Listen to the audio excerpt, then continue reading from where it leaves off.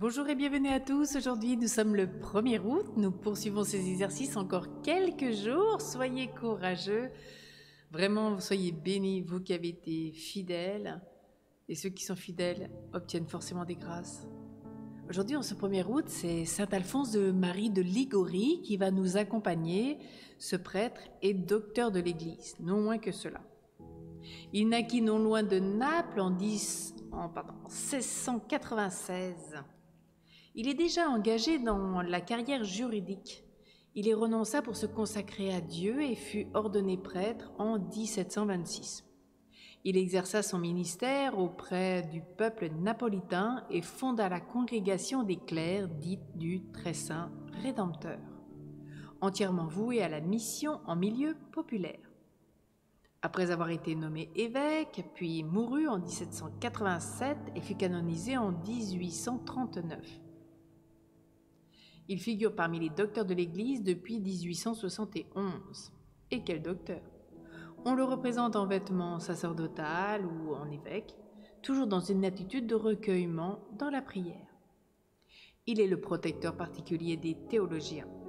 Son nom, qui est dérivé de l'allemand, signifie courageux ou noble d'un caractère noble. Alors n'hésitons pas à lui demander beaucoup, car vous savez que Saint Alphonse de Ligorie nous a beaucoup aidé dans ses visites au Très Saint Sacrement que vous connaissez tous, dans les visites à la Vierge Marie ou à Saint Joseph, ensuite dans les gloires de Marie. Voilà, c'est vraiment l'homme qui peut nous aider à vivre avec Jésus, en Jésus, et à demander vraiment cette intercession de la Vierge Marie pour aller à Jésus. Mais avant tout, en ce jour, continuons à prier Saint Ignace de Loyola, aujourd'hui où ce thème sera être pardonné et pardonné. Je ne veux pas détourner mon regard de ta croix. Me voici devant ton corps meurtri, écrasé par l'horreur du supplice, révolté par la méchanceté des hommes, aux côtés de Marie et de Jean le bien-aimé. Je ne peux pas n'être qu'un spectateur je me sais impliqué au cœur du mystère. Mon péché crucifie l'innocent du chemin. Mon reniement contribue à la mort du monde. Devant ta croix, donne-moi, Seigneur, la volonté de pardonner, le souci de la justice, la rectitude du cœur, la force d'aimer à fond perdu et de recevoir ton pardon.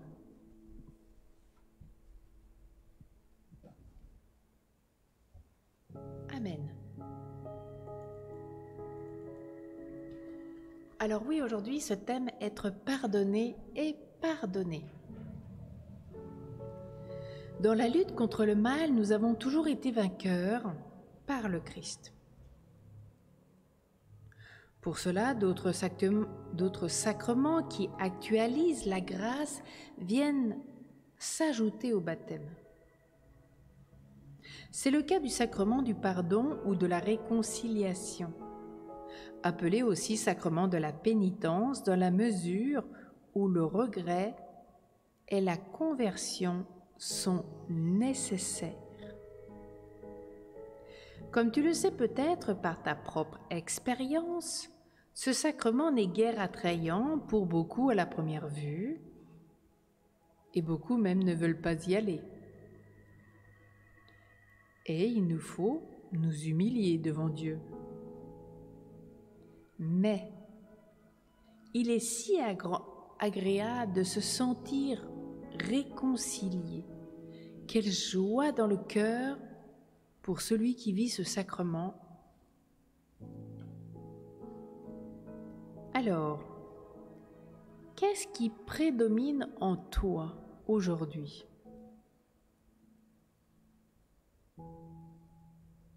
Le refus plus ou moins fort?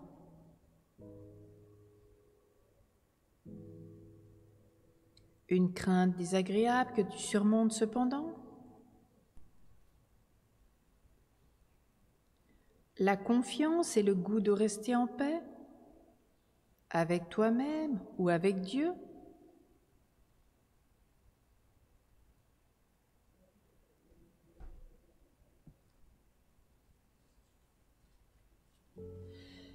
Permets-moi de reprendre avec toi quelques problèmes assez fréquents.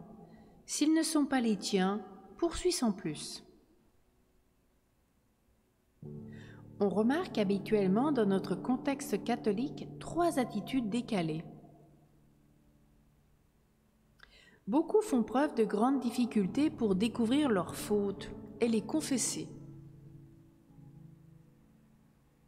J'espère que ces exercices, sans trop insister à leur sujet, t'auront aidé à mieux voir où se situent tes fautes et quelles sont les attitudes profondes d'où elles proviennent.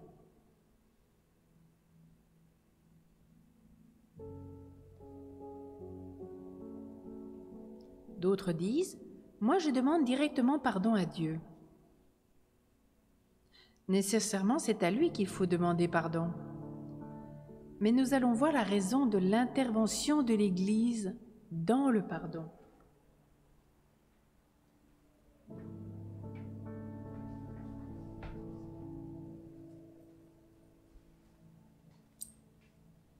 Enfin, nombreux sont ceux qui disent Suis-je moi pour pardonner?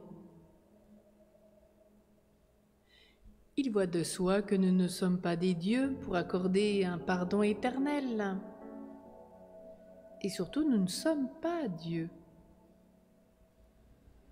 Mais, quand nous prions le Notre Père, il nous est bien dit, pardonne-nous nos offenses comme nous pardonnons aussi à ceux qui nous ont offensés.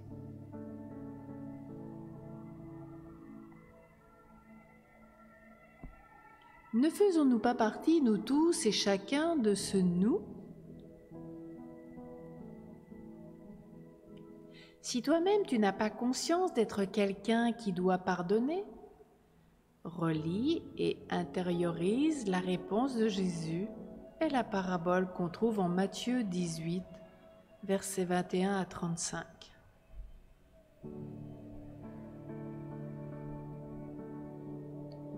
Alors pourquoi se confesser à un homme pécheur comme nous qui est le prêtre?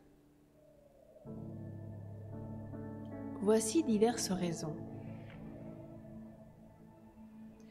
Celui qui se confesse à Dieu seulement court le risque de s'imaginer que Dieu lui pardonne, quand en réalité il se pardonne à lui-même. Il faut certes se pardonner à soi-même, mais ce pardon vient après. Dieu d'abord me pardonne réellement, et ensuite j'ai à demeurer en paix avec moi-même.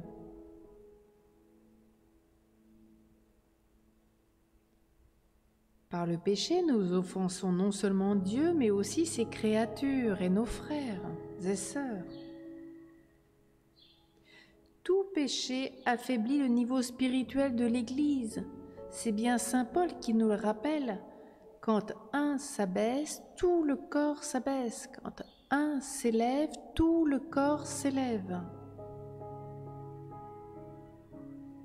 C'est pour cela que nous demandons aussi pardon à l'Église et le recevons de quelqu'un qu'elle autorise à le représenter en la personne du prêtre. En même temps, nous recherchons une réconciliation directe avec ceux que nous avons offensés, en leur demandant pardon et en rétablissant la justice. Par exemple, en cas de vol ou d'offense grave. Je rappelle dans le cas du vol qu'il y a une seule situation qui n'est pas péché pour le vol. Quand une personne vole parce qu'elle n'a rien pour au moins subsister. C'est le seul cas que le catéchisme de l'Église catholique ne considère pas comme un péché. Ce qui veut dire que les frères et sœurs n'ont pas permis à cette personne de pouvoir vivre ou de faire vivre des enfants, une famille, etc.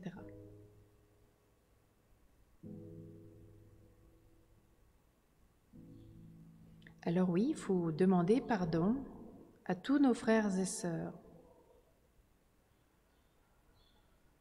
Sinon, ce serait la vérité du repentir. Nous ferions du sacrement une comédie hypocrite, c'est-à-dire sous le critère de la vérité, et un nouveau péché. Le sacrement de la réconciliation avec Dieu et avec nos frères, de même que les autres sacrements, est une célébration de la miséricorde de Dieu. Qui peut célébrer tout seul? Il doit au moins y avoir une autre personne qui représente la communauté et m'aide à célébrer. C'est le rôle du confesseur. Mais je peux également participer à une célébration communautaire de la réconciliation avec d'autres lors de très grandes assemblées, mais il faut toujours aller déposer ses péchés à un prêtre. Essaie à présent d'admirer la générosité de Dieu dans le Christ. Et pour cela, je t'invite à prier un moment à partir de la scène où Jésus envoie le souffle de son esprit sur ses disciples en disant, dans Jean 20, versets 22 à 23, Recevez l'Esprit Saint. Ceux à qui vous pardonnerez leurs péchés seront pardonnés. Ceux à qui vous les retiendrez, ils leur seront retenus.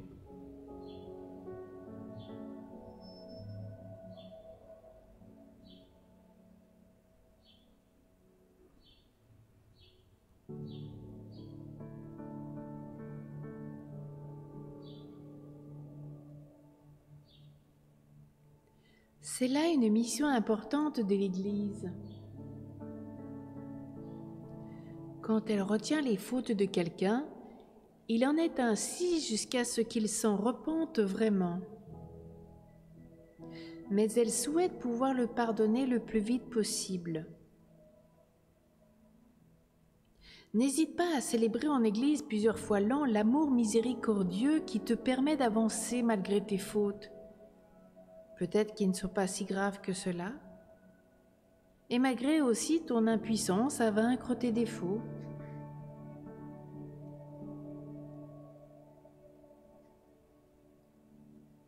Ce soir, il serait peut-être bon que tu te prépares sur le champ pour vivre une bonne confession, surtout si tu ne l'as pas vécue depuis longtemps, voire très longtemps.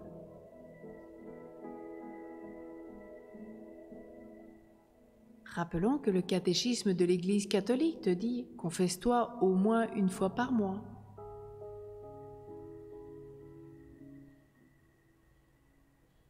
Et peut-être si c'est la première fois que tu vas recevoir le pardon, n'hésite pas à le dire à le prêtre afin qu'il t'aide à te confesser, à découvrir ce sacrement de l'amour, de la miséricorde infinie de Dieu.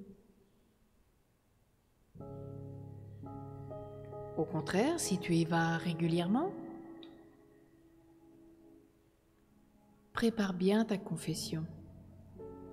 Vis d'abord ce temps de louange, confesse tes péchés, accueille cette absolution, mets en œuvre ce que l'on te propose. Mais j'insiste bien sur prépare bien ta confession de toi d'un texte de la parole de Dieu, de l'enseignement de l'Église catholique, ce qu'on appelle le magistère.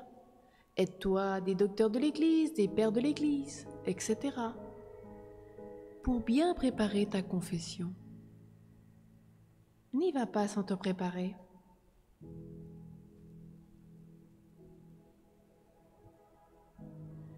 Vis une pratique régulière tu verras que ce sacrement t'apportera tant. Tu pourras aussi goûter cette parabole de Luc au chapitre 15, versets 20 et suivants, ainsi que dans le psaume 32. N'oublie pas que quand tu vas te confesser, c'est le Père déjà qui t'attend, qui te guette, qui t'appelle. C'est lui qui t'aime, qui dit Viens mon enfant, réconcilie-toi avec moi. Je suis là pour t'aider, je t'aime. Viens déposer ton fardeau qui est lourd. Moi, je le soulagerai. Combien ce Père nous guette, nous veille, nous aime, nous prend dans ses bras. Il veut nous pardonner, rien n'est trop grave pour lui. Alors fais-lui confiance, abandonne-toi. Il n'est pas un Dieu de justice, il n'est pas le gendarme, il est le Dieu de l'amour qui veut te relever pour que tu chemines, pour que tu te relèves. Ne rends pas la croix du Christ vaine. Jésus est mort par amour pour toi, pour te libérer de ton péché, de la mort, du monde, du démon. Et accueille cette effusion de l'Esprit Saint pendant ce sacrement de la miséricorde infinie. Oui, je parle bien d'effusion de l'Esprit Saint. Écoute bien les prières de l'absolution. Et rempli de cet Esprit Saint, tu ressortiras en paix, en pleine joie, avec un désir de repartir beaucoup plus vite, beaucoup plus haut, toujours plus haut, pour une plus grande gloire de Dieu. Ad majorem Dei Gloriam. Amen.